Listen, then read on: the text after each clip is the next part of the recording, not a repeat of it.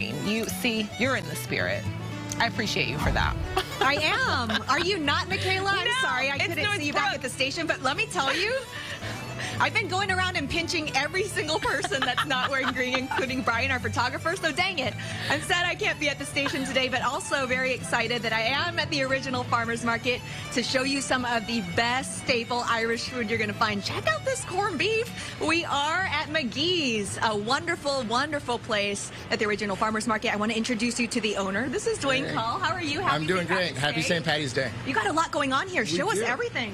Well, so this is our famous corned beef, cabbage, and potato dish. It starts with this specially trimmed brisket from Magee's. It's made with us uh, proprietary ingredients, which we're going to take the raw product and drop it into the boiling water.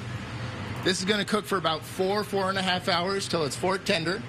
Um, we have cabbage and potatoes boiling here. Uh, and then, when it's all ready, we're going to take out this finished brisket. Look at Look at that. and that is fork tender. Melt in your mouth. Okay? This is an original recipe, so you're really not going to taste anything like It this is. anywhere It's made else. specially for us here at Magee's. Yeah, nowhere else in the world do you get corned beef like this. Ooh, I love Yeah. it. Any tips for people who are coming out today?